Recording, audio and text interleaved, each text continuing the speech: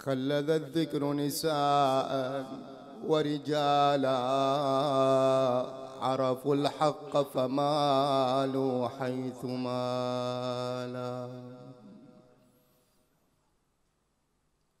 فمن النسوة من خلدها ذكرها في الخير قولا وفعالا.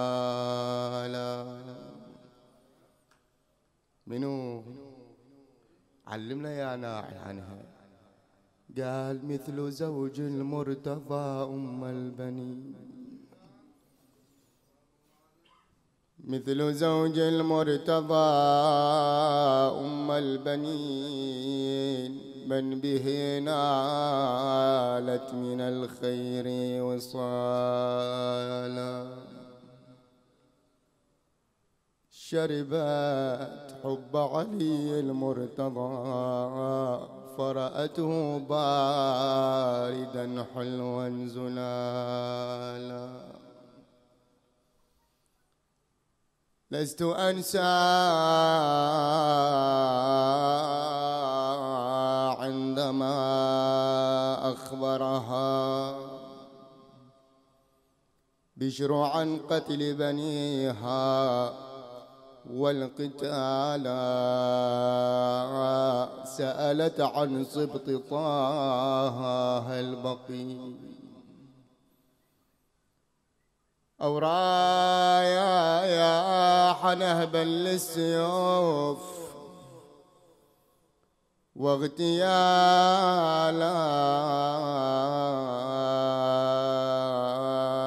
لست أنسى عندما أخبرها. بابنها العباس من حاز الكمال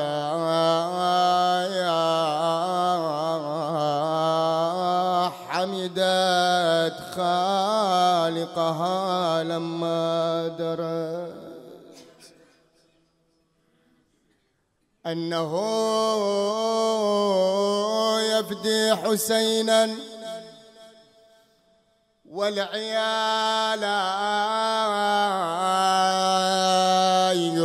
يقولون يا ابني باللواء شقيت الصفوف دارت عليك القام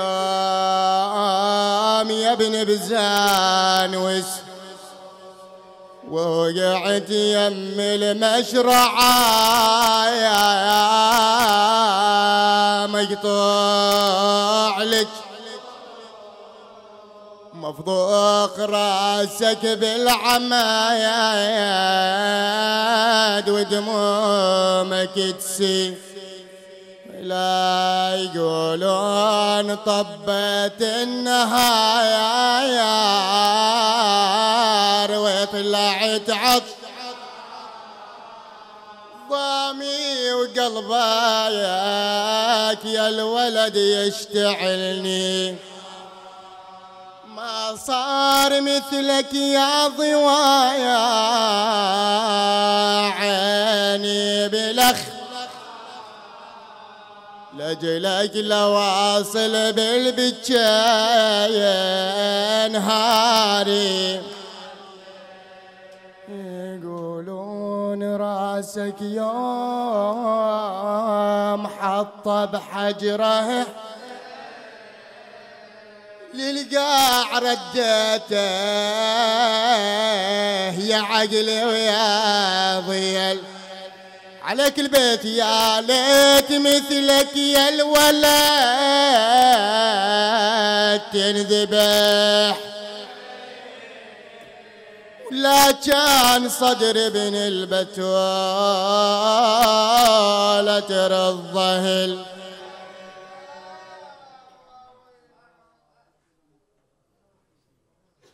الأمر لله لا حول ولا قوة إلا بالله العلي العظيم. عليه توكلت وإليه أنيب. العاقبة للمتقين ولا عدوان إلا على الظالمين وما ظلمونا ولكن كانوا أنفسهم يظلمون. يا عقيل اخطب لي امرأة ولدتها الفحولة من العرب لكي تنجب إلي غلام يكون ناصرا لولدي الحسين في يوم كربلاء. صلوا على محمد وآل محمد.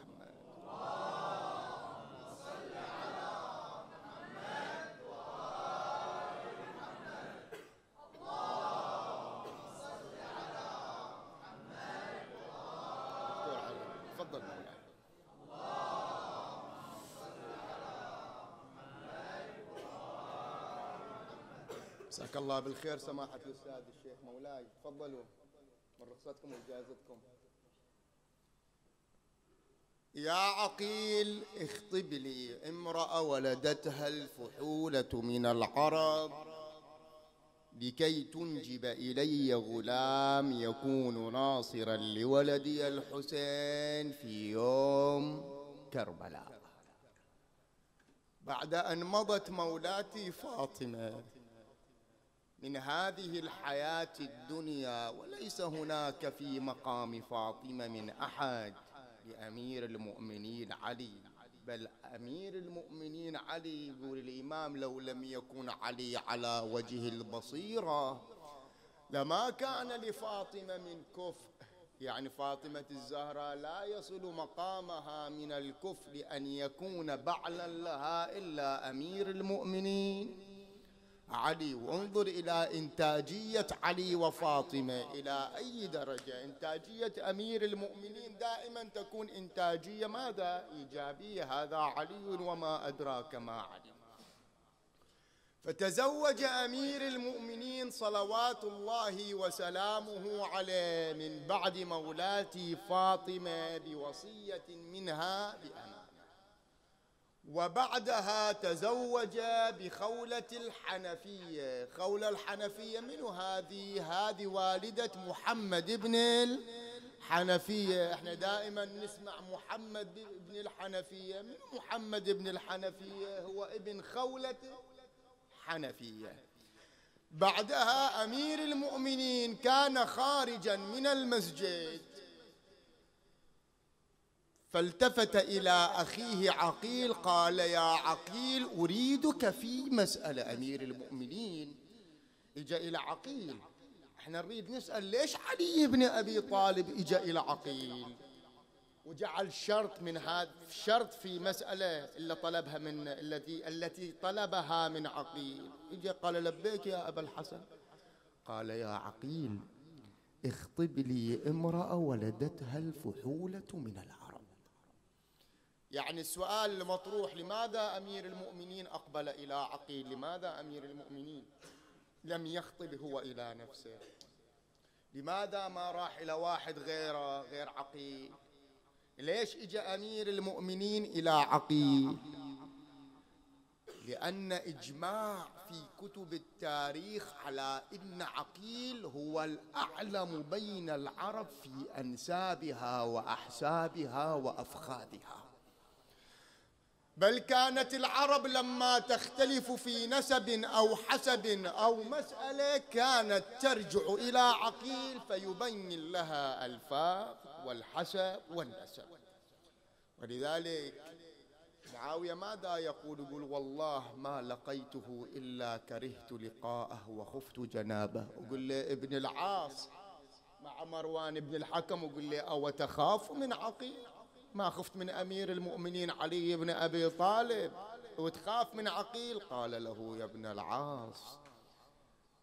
قال لي يا ابن العاص في صفين لما حمل عليك علي بن أبي طالب.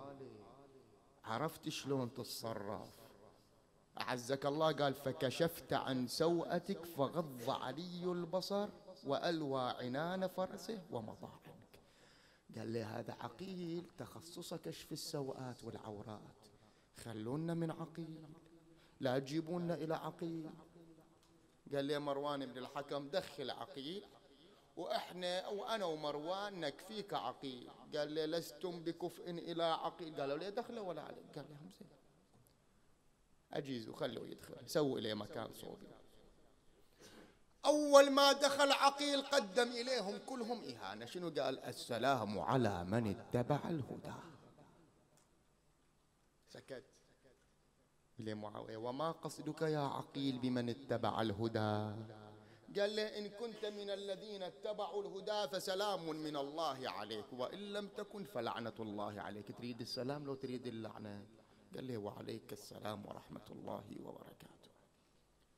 جلس عقيل. قام له مروان قال له ما أغلظ قلوبكم يا بني هاشم. إنكم لتنظرون إلينا لما آتانا الله عز وجل. شنو أعطاك الله؟ لما آتانا الله عز وجل من ملك ومن شرف ومن سيادة ومن رياسة. زين؟ التفت أمي التفت عقيل إلى معاوية. شنو قال إليه؟ قال لي يا معاوية أهذا الوزغ ابن الوزغ الملعون على لسان الله ورسوله في القرآن الكريم؟ مو هذا مروان؟ قال له بلى. قال يا مروان هل تعلم لماذا سميت بالوزغ ابن الوزغ؟ قال لي ليش؟ قال لي لأن أباك كان يقوم بحركات كالوزغ يغمز عينه ويخرج لسانه فالتفت إليه يوما النبي وقال اللهم ثبته على هيئته فبقي على تلك الهيئة يقوم بحركات الوزغ والقردة حتى مات. وعتنت ريحته نتنت ريحته. فضحك القوم على منو؟ على مروان. بعدها وقف ابن العاص قال هكذا أنتم يا بني هاشم تدعون لأنفسكم أمورا ليست لكم. قال وما هي؟ قال لقد أعطانا الله الشرف والنسب والحسب ونحن سادات قريش. قال لي يا ابن العاص إن كنت لا تدري فتلك مصيبة وإن كنت تدري فالمصيبة أعظم قال لي أريد أخبرك أنا وأنت الذي اجتمع على أمك عشرة من قريش في ليلة واحدة. فلما حبلت وحملت وأنجبت تصارعوا فيما بينهم عليك. فأخذك أخسهم حسبا وألأمهم نسبا من لا يعرف له أما ولا أبا. ونحن نسلنا معروف إلى آدم صلوات الله وسلامه عليه. نحن من نسل محمد صلى الله عليه وآله.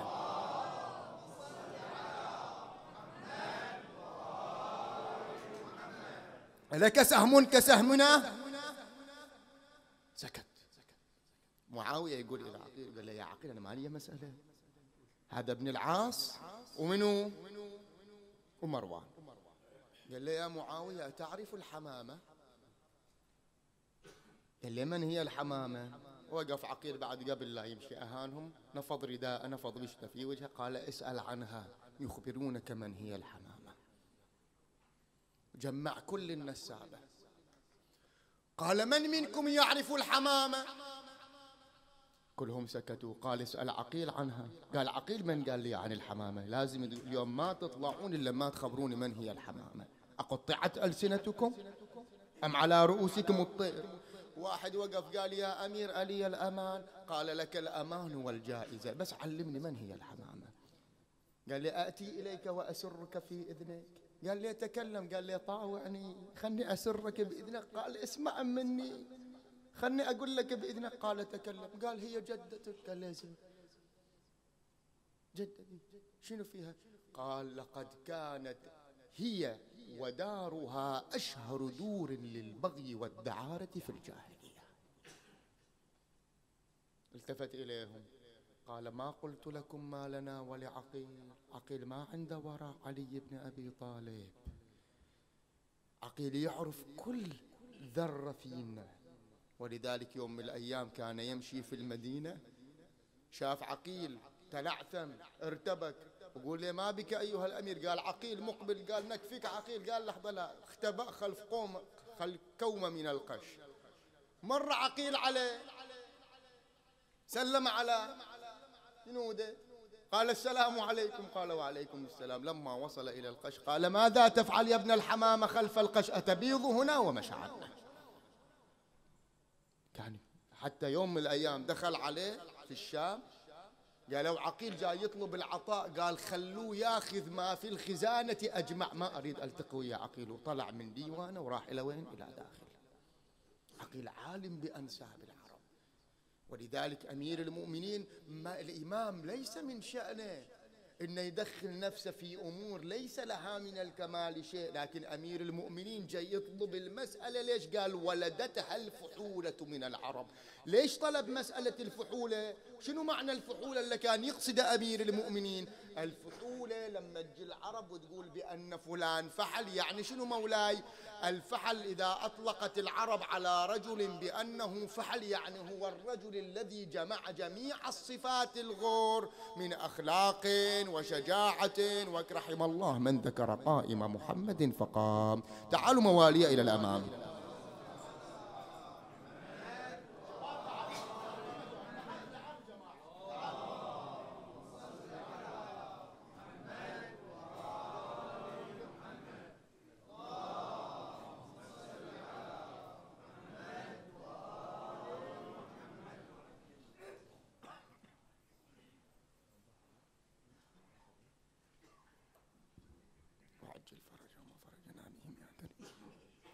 بأن الرجل إذا جمع الصفات الغر من أخلاق ومن شجاعة ومن كرم ومن سخاء ومن ومن هذه الأمور الراقية فضائل الأخلاق جمعها الرجل يقولون عنه ماذا؟ بأن يلقبونه العرب بتلقيب مجازي فلان فحل. استعمال مجازي لأنه جمع الصفات وهو فحل. ولذلك قيل في أمير المؤمنين علي بن أبي طالب بأنه فحل فحول. قال لي أنا أريده لكي تنجب إلي غلام يكون ناصرا لولدي الحسين في يوم كربلاء. قال لي أين أنت عن فاطمة بنت حزام الكلابي؟ فهو من شيعتك ومن محبيك ومن مواليك يا علي وهو فحل ابن فحول أخ لفحول وأب لفحول. قال له يا عقيل اطلع واخطبها إلي. خرج عقيل من المدينة المنورة راح إلى وين؟ إلى العراق. ما بين وين؟ الكوفة والمدائن. مضارب بني كلاب. وكان حزام أمير مشايخ بني كلاب يعني أعلى درجة في بني كلاب كانت إلى منو؟ إلى حزام. زين. بلغ حزام بأن ماذا عقيل مقبل إليه؟ قال ألف كرامة إلى عقيل وألف ألف كرامة إلى منو؟ إلى أمير المؤمنين علي. ولما حل عند ضيف كانت من عادات العرب ثلاثة أيام. ثلاثة أيام. تخلي الضيف على راحته. بعد الثلاثة أيام تدخل تناشد الضيف تسأله وحزام من العرب الذين ما أغلق باب داره ولو لساعة. باب داره دائما مفتوح. عقيل في دار حزام مضيف أحسن الضيافة إجا إلى قومه. قال يا إخوتي ويا بني عمومتي وخؤولتي ويا قومي. لبيك يا أمير. قال أريدكم محلقين الرؤوس وأياديكم على مقابض السيوف. أريد أدخل وأناشد عقيل. هذا أخو أمير المؤمنين علي بن أبي طالب. هذا أخو علي الضارب بالسيفين الطاعن بالرمحين فارس بدر وحنين هذا مو أي فرد. يعني شنو محلقين الرؤوس؟ يعني يرفع الإمامة حتى مقدم الرأس ويش؟ مقدم الرأس ويش؟ والشعر يبين عنده يبين المحاسن. دخلوا على عقيل. أثنى ركبتي حزام أمامه. يده اليمنى على مقبض سيفه والأخرى بها. الرمح الطويل. وخلف قوم محلقين الرؤوس وأياديهم على مقابض السيوف. وناشده. شنو المناشدة؟ قال إلى يا عقيل حللت أهلا وسهلا. إن كنت جائعا أطعمناك عريانا كسوناك عازبا زوجناك فقيرا أغنيناك. ضالا رددناك مستنصرا نصرناك مستجيرا أجرناك. يا عقيل هذه هذه روحي وأرواح إخوتي وبني عمومتي وبني خؤولتي وقومي بين يديك. شنو قال إلى عقيل؟ قال هكذا بي هكذا عهدي بك يا فحل. هي تعرف قال هكذا عهدي بك يا فحل. كفيت ووفيت يا حزام لكن ما عندي خير من ما عندك. هذه لما يقول ما عندي خير من ما عندك وبعدين يطلع وما عنده شيء من الأمور يعني اللي يقوله عقيل مو في مستوى الذي ناشده به حزام؟ هذه تعتبر إهانة في حق المضيف قال ما عندك يا عقيل خير مما عندي؟ قال له قال هات ما عندك. قال أتيت خاطبا ابنتك فاطمة إلى أخي أمير المؤمنين علي. سمع. وقف. قال لي يا عقيل أعد علي ما قلت. قال لي جاي أخطب بنتك فاطمة إلى أخي أمير المؤمنين علي. قال لي مهلا مهلا أنت شنو سويت بي؟ شنو سويت بي أنت؟ مهلا يا خرج من دار الضيافة وراح إلى الحرة كلابية زوجته يصيح يا كلابية يا كلابية. شنو ردت عليه زوجة الفحل؟ قالت له يا حزام إن طعامنا جاهز. الآن انقدم إلى عقيل. كرامة لعقيل وألف كرامة لأمير المؤمنين علي. مسكها من يدها قال لها تعالي. هذا عقيل جاي يخطب بنتنا فاطمة إلى أخو أمير المؤمنين علي. يا لي لقد عرفت بهذا الشأن. قال لي شلون عرفتي؟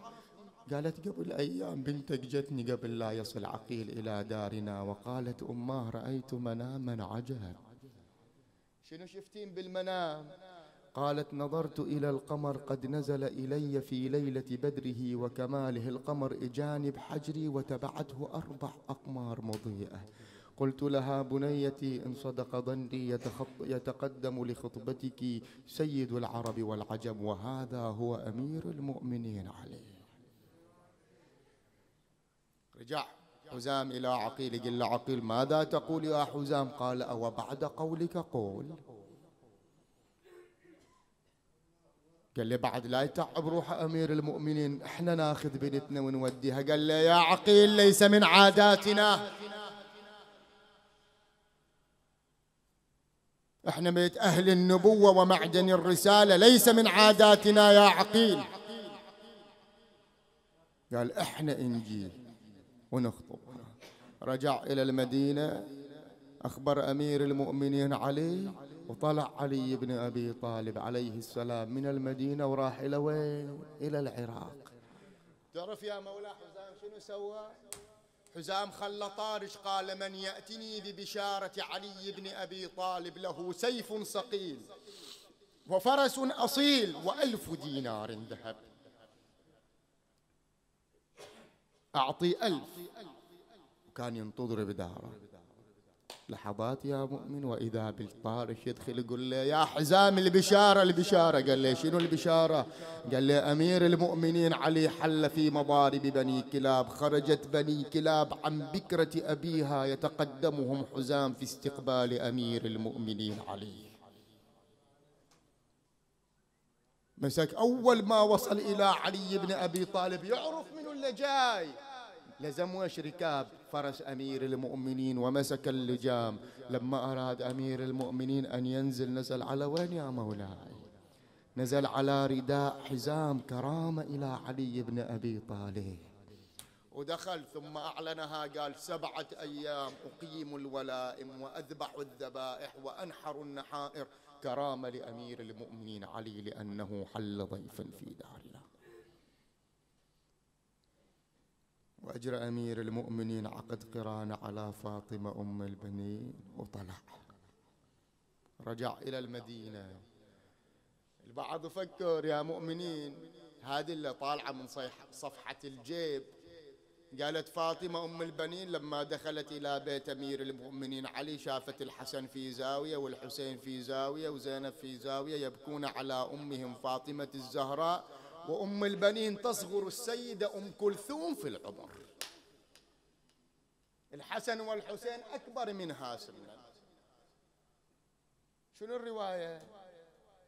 لما وصلت إلى دار تسأل أمير المؤمنين علي. تقول لي أبا الحسن سيدي من في الدار؟ قال أبناء فاطمة ينتظرونه قالت أبا الحسن كفيت ووفيت الآن جدوري. جدوري. أول ما فتح أمير المؤمنين الباب دخلت أم البنين راحت ترفع التراب من تحت أقدام الحسن وتخليه على راسها تقول له سيدي أبا محمد تقبلني خادمة عندك. تروح للحسين ترفع التراب من تحت قدميه تقول له سيدي تقبلني خادمة عندك. تروح تقبل يد الحوراء زينب سيدتي تصدقي علي واجعليني جارية عندك تاخذها زينب وتضمها إلى صدرها وتقول نحن مع على موعد معك يا فاطمة. على موعد وياك. وأمير المؤمنين يناديها بفاطمة قالت يا أبا الحسن لا تنادني بفاطمة لا تجتمع فاطمتان في بيت واحد تلك بنت محمد المصطفى من بلغ قاب قوسين أو أدنى وأنا بنت حزام. شنو الناديج قال كنني بكنية جدتي. جدتي والدة حزام معروفة بين العرب بأم البنين وأنا موعودة ببنين فكنني يا أبا الحسن بأم البنين. فعرفت في أوساط بيت علي وفاطمة. ويش بفاطمة أم البنين. وجدت الساعة حملت بأبو الفضل العباس.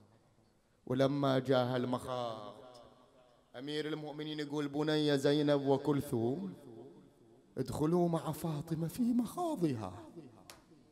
بعد ما في ولادة من ولادة أولاد علي بن أبي طالب وقف الحسن والحسين وأمير المؤمنين على باب الدار ينتظرون المولود. ماكو إلا للعباس إلا للعباس. ولذلك الشاعر يقول لما دخلت أم البنين في مخاضها أم البنين بمن هتفتي عندما حمي المخاض.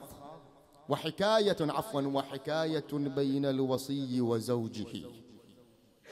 لما تكامل في الحشن نبراس أم البنين بمن هتفتي عندما حمي المخاض. وضاقت الأنفاس قالت باسم الصبط قلبي هاتف حسين. قالت باسم الصبط قلبي هاتف فهوى اشتياقا باسمه. منو؟ العباس وإذا بصياح طفل قد ارتفع. تهلل وجه أمير المؤمنين فرح. ساعة وإذا زينب خرجت والعباس ملفوف في خرقة صفراء. تقول له أبتاه انظر إلى أخي كأنه فلقة القمر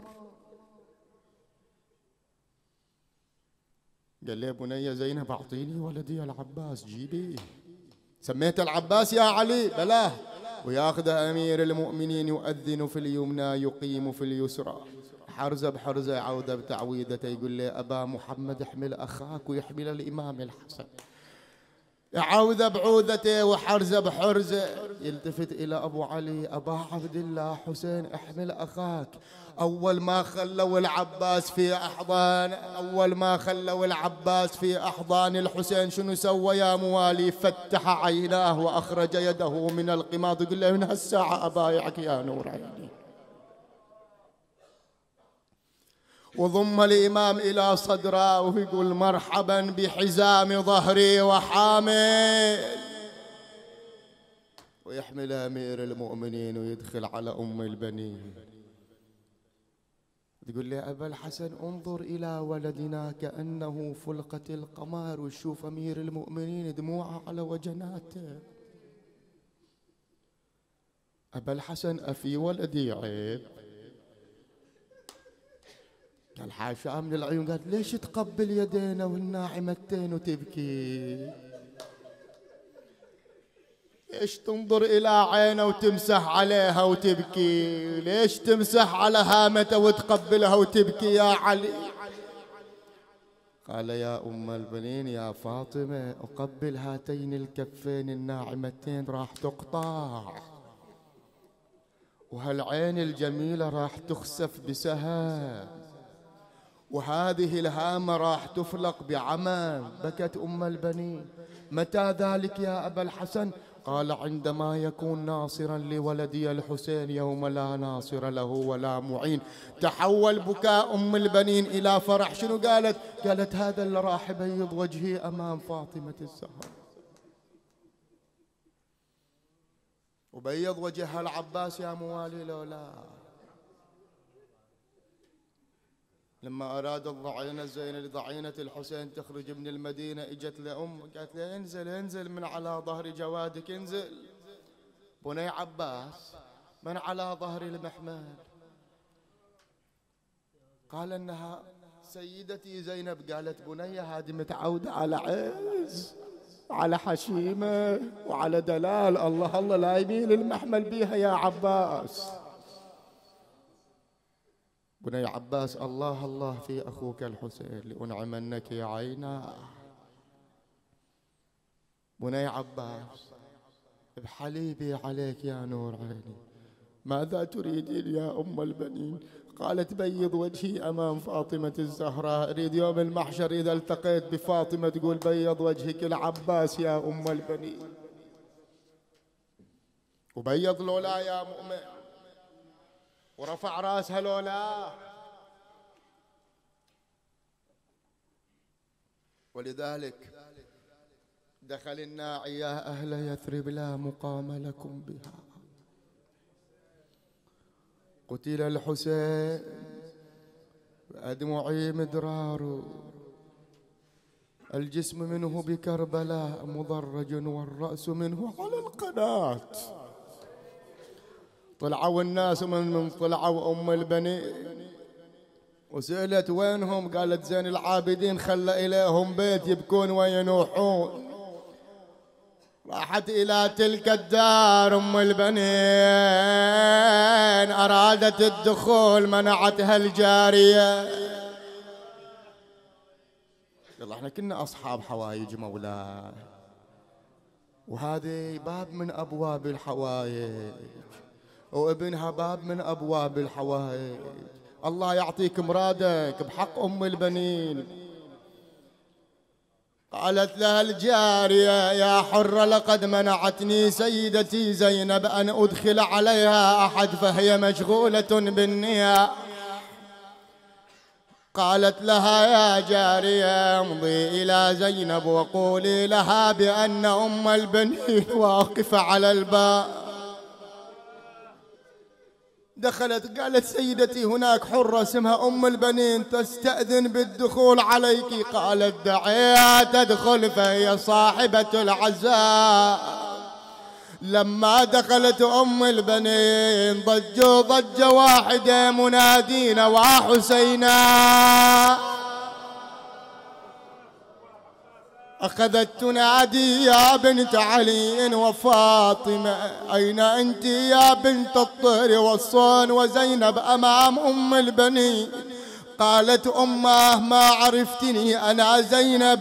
قالت الله يا بنت علي الراس منك شاب والعين ذابلة والجسم منك نحيل قالت يا أم البنين لا تلوميني نظرت إلى أهوال عجب. شنو يا زينب؟ نظرت إلى أخي والحوا والخيول تطحن أضلاعه. نظرت إلى رأسه وهو معلق على رمح طويل. نظرت إليه وهو بلا غسل ولا تكفين. صرخت ونادت وولدا وحسينا.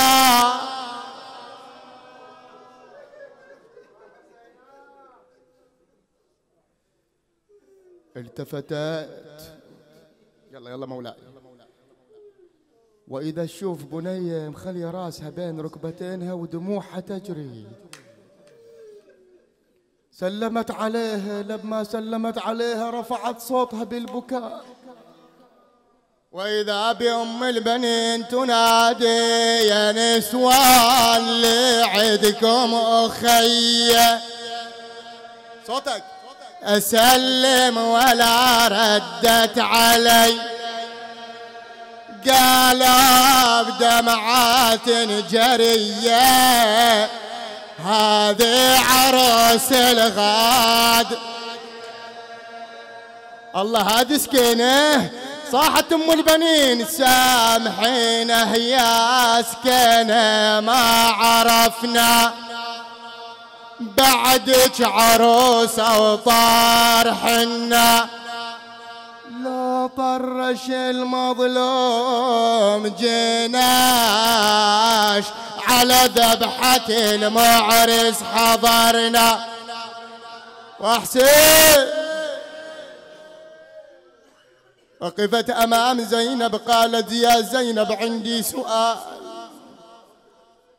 شنو السؤال يا زينب بيض وجهي العباس لولا. وإذا بزينب تنادي يم البنين الأربعة تشهد لكنا يلا يلا شباب. ما صار في اليوث الحرايب مثل عب. خلى الأرض روس وجثث بمطهى دا روس الأعادي وضيق الميدان صار. بيض وجهك. لكن يا زينب بعد عندي سؤال. ما هو يا أم البنين؟ أريد أعرف حالة الحسين لما راح إلى أخوه على أي حالة؟ شلون راح إليه؟ قال طلع من خيمة المظلوم حاله يبكي العين. مسود الأرض عنده ما يجري يروح منه ظهره من حنين الكاع جنة بالغ التسعين طبل المعركة ونادى روحي لا تهف دوا يا ام البنين حتى أملاك السماء ضجت لأجل هذا. شلون يا زينب؟ رفعت روسها الاملاك تبكي والدمع يجري؟ شنو اللي جرى في الكون يا جبريل؟ ما تدري.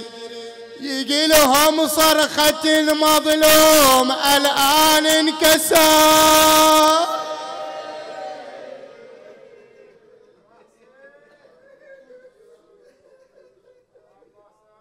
خرجت أم البنين إلى أهل المدينة.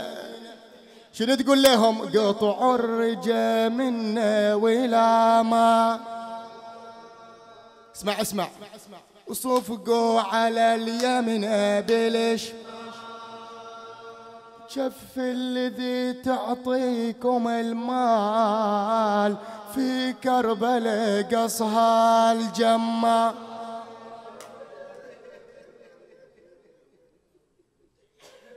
عاشت حزينة كئيبة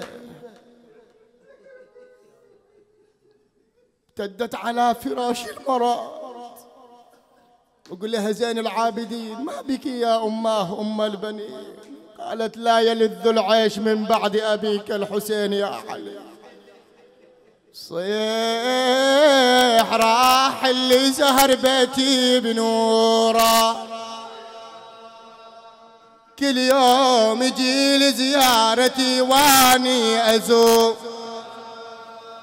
وهسه جفاني وارتحل شيخل وكل الأسياف ما ينفد الغالي بالأعمى. قامت تحن وتصيح وصارت مثل خلاق وظلت رمية على الفرش مدهوشة الباء وتمرضت وتحير السجاد بالحال وساكنة تداويها وعليها تنظم أشعار وش تقول سكينة لأم البنين؟ والصيح غيابك يا يما ما لفولك وكبدك يا حرة فتتت وعلاج مالك. ما أشوف لك قومة يا يما نسلم عليك. وطير السعد عني وعنك رفرف وطا ضلت تنادي مسجية والصيح يا حسين. باموت قوم الحق على أمك يا ضيل. صفقت بديها وهاجت أحزان النساوي. تفتت ونادت في أمان الله يلطها. عندي وصية يا زين العابدين تسمعها مني؟ ما هي يا أم البنين؟ قالت لو كان يحصل يا ضوى عيني على هوا إن كان أتلحد بلي تغسيل بالماء. مثل الذي في الغادرية ذوب حشاي ردت ضلوعه وما بقت منه بقي. ولو كان ترك الميت جايز يا مسلمي. لو صيح عليكم تدفنون بغير تكفي. الويش ما أريد أنا غسل وكفن بواسي منو؟ ويلي على المذبوح برض الغال. بعد وبالله خلوا جنازتي في حر الشموع لجل الذي تمت جنازه بلا روس ظلوا ثلاث أيام ما شقوا لها رموس والروس منها فوق روس السمهري. اسمع الوصية بالشمس خلوني بلا فراش ولا ضلاع وثلاثة أيام تركوني فوق الرماء. وبنعال دوسوني حبيب نداس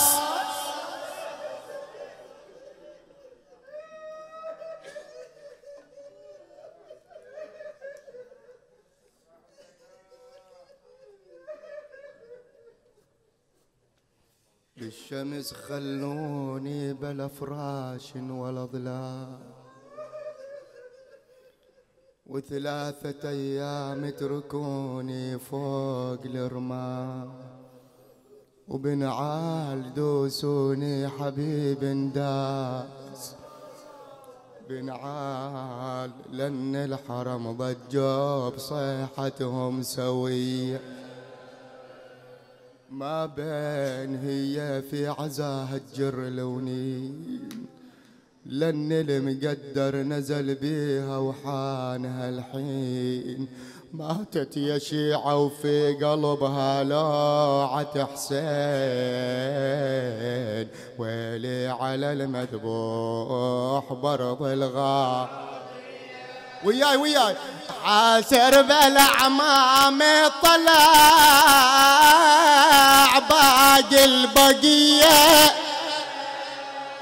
ويصيح ما جالج غريب الغاء. وعباس ما جالج وسوالك عزيز ومن النجف ما جاء وحضر لك داحل ساعدني. مسكينة وقفت والتفتت إلى كربلاء. شنو تقول؟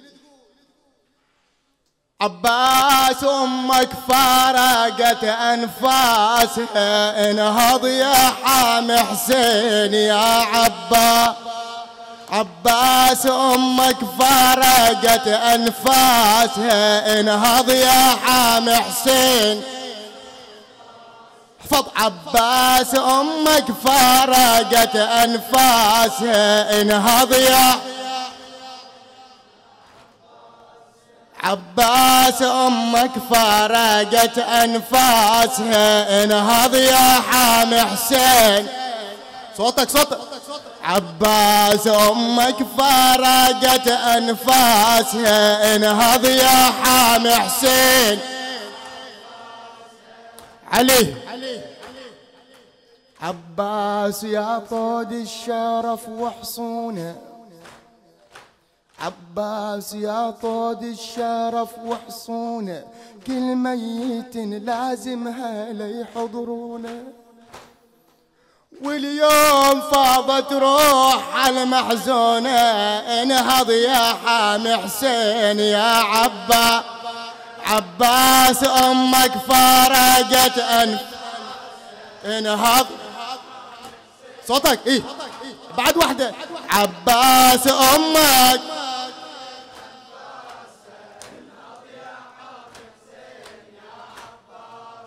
عباس يا طود الشرف وحصونه. كل ميت لازمها ليحضرونه. واليوم فاضت روح المحزونة انهض يا حامي حسين يا عباس يا عباس.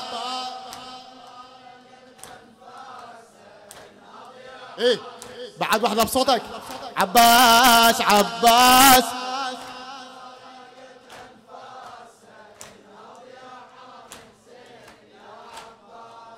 بيتك تشوف البنين الحرة.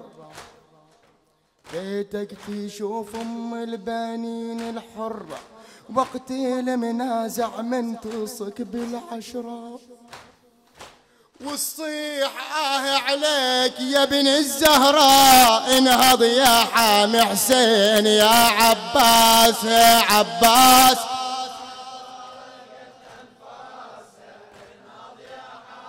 بعد وحدة صوت ارفع حبيبي. عباس.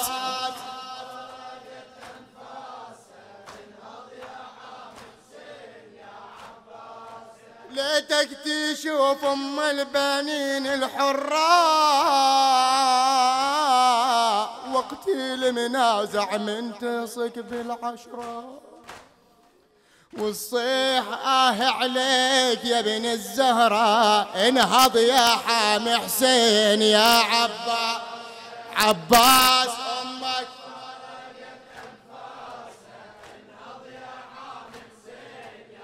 بعد واحدة حبيبي عباس أمك.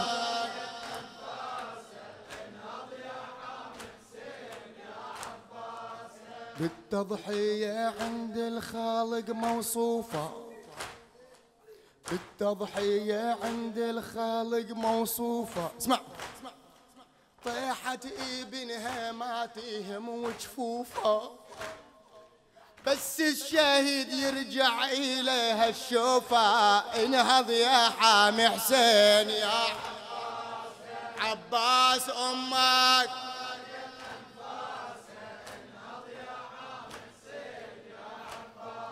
عباس أمك. صوتك حبيبي هي. ما قصرت واسترخصت ظناها لاجل الشهيد وهذا كل مناها تتصور مرمي ويذوب حشاها. انهض يا حامي حسين يا عب عباس أمك.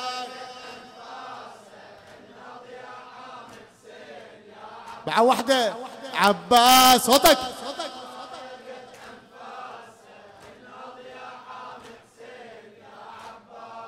سكنة عليها الصيح من تندبها.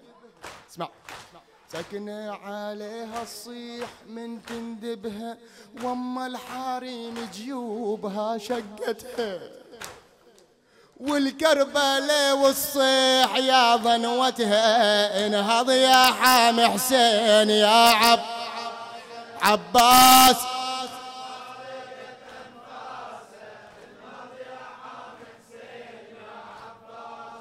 عباس أمك.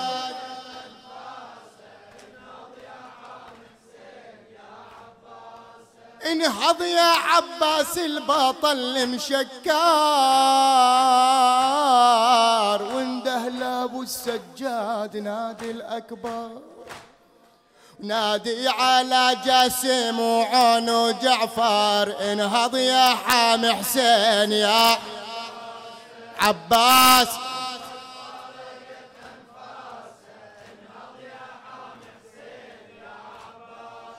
انهض يا عباس البطل المشكر. انهض يا عباس البطل المشكر. وانده لابو السجاد نادي الأكبر. ونادي على جاسم وعون وجعفر انهض يا حامي حسين يا عباس.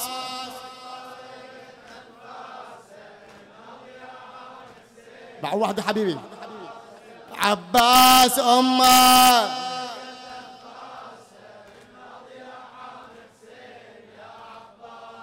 عباس ما تخبر إخوانك بالحال. جيبوا سيدر كافور جيبوا شيال. وخبر اللي دي داسو صدره بنعال إنهض يا حام حسين يا عب عباس.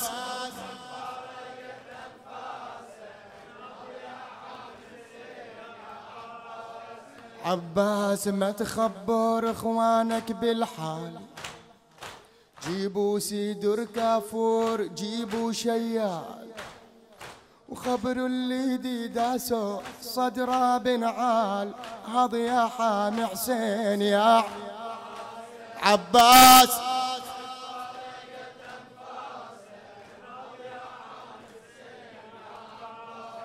عباس أمك.